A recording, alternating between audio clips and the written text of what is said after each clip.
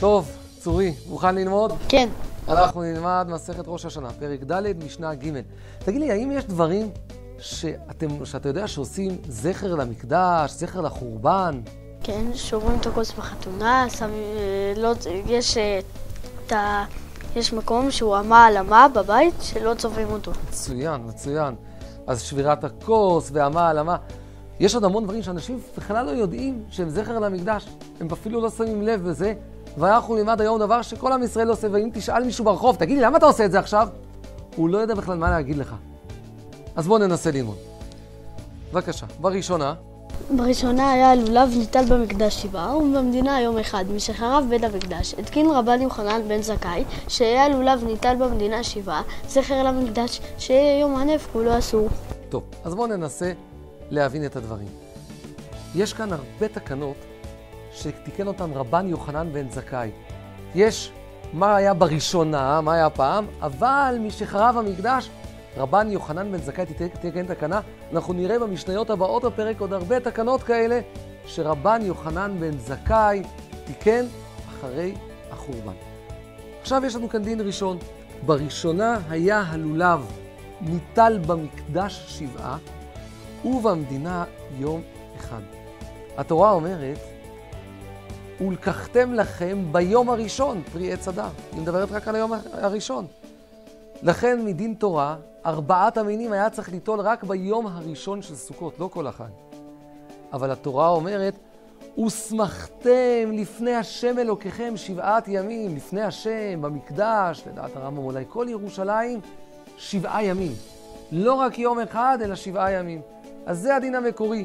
בראשונה היה הלולב ניטל במקדש שבעה, שבעה ימים, כמו שכתוב, שמחתם לפני השם שבעת ימים.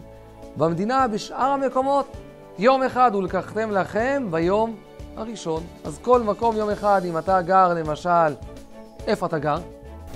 פה. פה, איפה זה? אלון שבות. היינו נוטלים בסוכות רק יום אחד.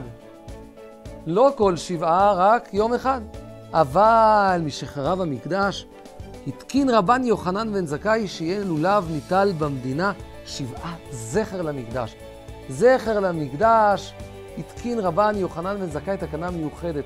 כולם עכשיו יתלו ארבעת המינים כל שבעה. היום הראשון הוא מהתורה, שאר הימים מדרבנן.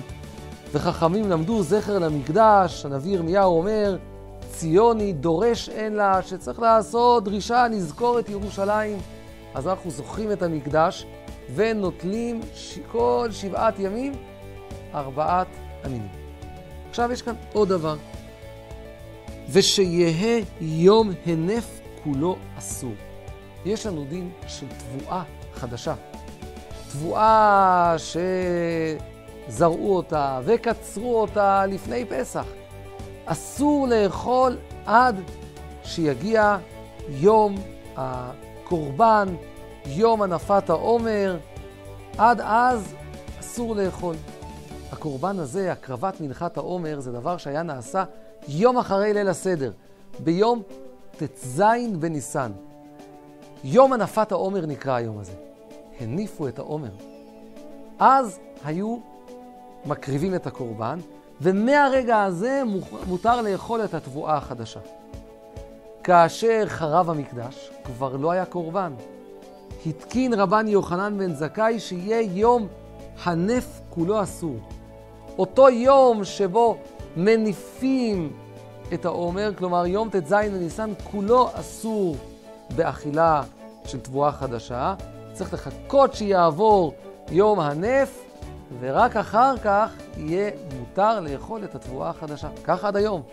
עד היום יש תבואה חדשה, צריך לחכות שיעבור יום ט"ז בניסן, יום הנף, ורק אז יהיה מותר לאכול את התבואה החדשה. ביום הזה היה יום הנפת העומר, אבל חוץ מזה, אולי כל עם ישראל הגיע להנפה, למקום גבוה, מיוחד, אנחנו מיד אחרי ליל הסדר, נהיינו לעם.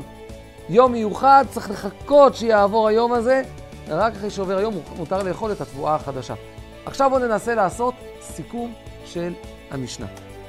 יש לנו במשנה בראשונה, ויש לנו אחר כך משחרב המקדש. אז בואו נדבר קודם כל בראשונה. יש לנו מקרה ויש דין. יש מקרה אחד בראשונה, מקרה מה קורה בבית המקדש. לולב בבית המקדש, זה המקרה. והדין הוא, לולב בבית המקדש, כל שבעה, נכון? טעם כתוב במשנה? לא כתוב. לא.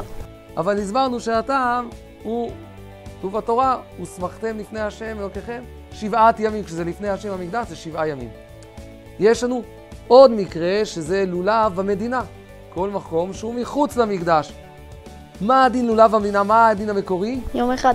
יום אחד, אז הדין הוא שלוקחים יום אחד בלבד את ארבעת המינים, נותנים יום אחד, וטעם כתוב במשנה?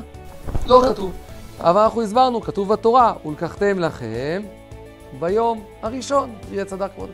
אז זה ביום הראשון, אז זה הטעם של הדבר הזה. כל זה בראשונה.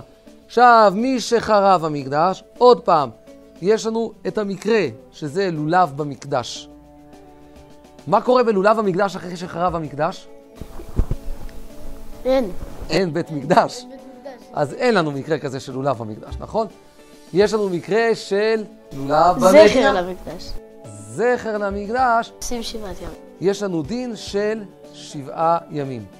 והדבר הזה, אין כאן, הטעם כן כתוב כאן במשנה בצורה מפורשת, כי במשנה כתוב שעכשיו הוא התקין זכר למקדש. אז כתוב שהסיבה היא זכר למקדש, לכן שבעה ימים במדינה נוטלים ארבעת המינים. יש לנו עכשיו עוד מקרה לגבי תבואה חדשה. תבואה חדשה, יש לנו דין מקורי שהיה צריך להיות שמה שמתיר זה קורבן העומר, אבל זה לא כתוב במשנה. אבל מה שהתקין רבן יוחנן בן זכאי, הדין הוא שכל יום הנף אסור, נכון? כל יום ט"ז אסור. והדבר הזה, כדי שנדע, מהרה ייבנה המקדש. לא כתוב הטעם במשנה, אבל הטעם, שהגמרא מסבירה, מהרה ייבנה המקדש. ייבנה המקדש, שנדע מה לעשות, שלא נתבלבל, שנחכה לקורבן העומר, ולכן יום הנף כולו אסור. יש כאן דבר מעניין, שני דברים למדנו במקדש, במשנה ששניהם קשורים למקדש, אבל הם שונים. הייתי קורא לזה, אחד זה זכר למקדש, ואחד זה מהרה ייבנה המקדש.